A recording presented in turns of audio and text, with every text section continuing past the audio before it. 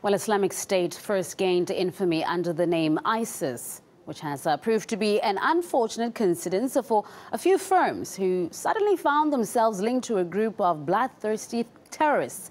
RT's Polly Boyko takes a look. She's an Egyptian goddess worshipped as the ideal mother and protector of children, but dark forces have usurped her name. ISIS is now best known as a barbaric terrorist organization, running riot in Iraq and Syria and beheading US journalists. But what if it happens to be the name of your company? So you see on here, we just had the word ISIS, and then the word mag was very, very small. And we realized that no, we can't go to print with, you know, with this layout. We had to incorporate mag in the actual title, ISIS. ISIS Mag in London was supposed to be about hair and beauty for women of African descent. We wanted our readers to, you know, unleash the goddess within them. So that was basically how we got the name ISIS for the magazine. We started getting um, messages via our Facebook page that we were part of the terrorist organization, and that wasn't cool.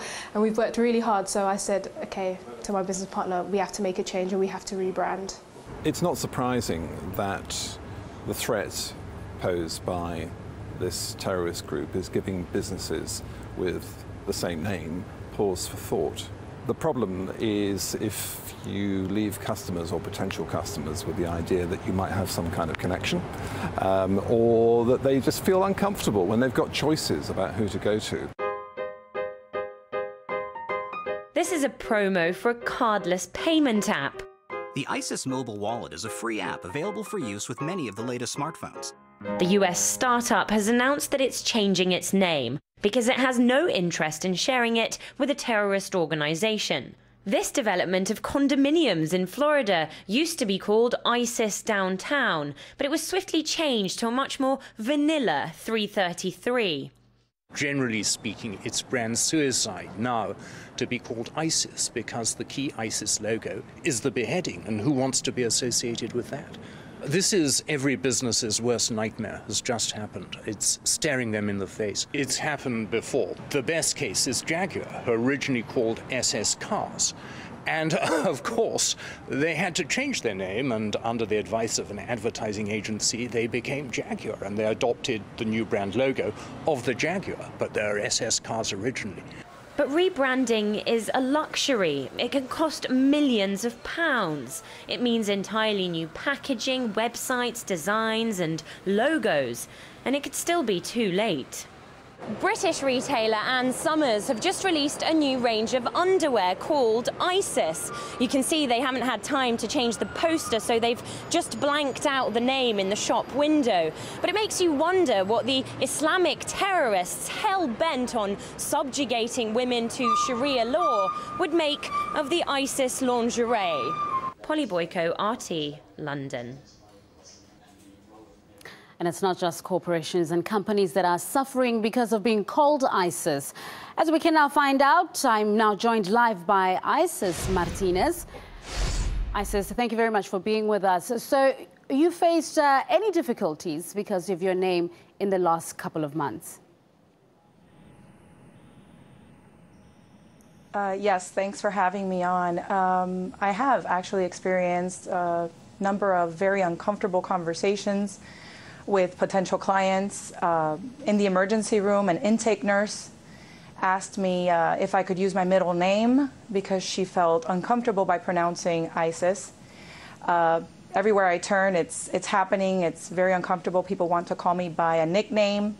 Uh, in the midst of, of all this, I started a petition to gather other women that I knew would be in the same position, and they are. And there's uh, parents, with little girls named Isis that are also dealing with this kind of backlash. And it's really on the media. The petition is that the media stop using this name because, number one, it's inaccurate and it's irresponsible.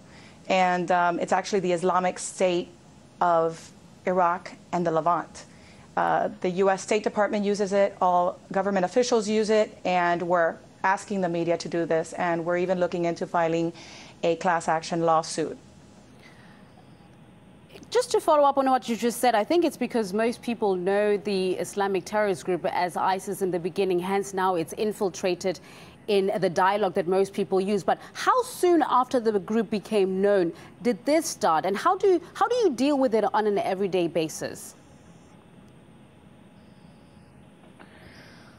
Well, from what I understand, uh, the government has known about the group for some time. It's not until the most the more recent months that the media actually started picking it up and it started um, getting around. I don't watch the news as often as I, you know, probably could. I know a lot of people do, uh, but it has over the past month and a half, it has really become an issue, and. Um, you know, I find myself sometimes holding back from even introducing myself. I have to introduce myself several times during the day um, to potential clients, and it's uncomfortable. And, and I've noticed people take a look at my badge and see my name, and, and you know, it's, it's uncomfortable. People, you know, cringe at, at the sound of my name now. With people reacting that way to when you introduce yourself or when you say your name, has it at any time during this last couple of weeks, have you even thought of just saying, you know what, I'm just not going to use my my name for a while and just use my middle name, as you said, uh, work has asked you before to do that. Is that where this is leading, you think? No, you know, I can't I can't do that. You know, my name is Isis and I, I love my name. I'm proud of my name. My mother's name is Isis. She was named by my great grandfather in Cuba. I'm a US citizen and I think that this is something that the media has to do something about. And if I don't use ISIS, then the terrorists win. And it doesn't matter really what they're called. It's the fact that, you know, we need to do something about this terrorist group. And I, you know, this is, it's an unfortunate event. And I know that there's a greater tragedy, tragedy going on right now. But this is a real problem for many, thousands and thousands of women named ISIS in, around the world. Isis Martinez, we'll have to leave it right there. I think I've just learned today that your name actually means throne. Uh, so thank you very much for being with us here on RT.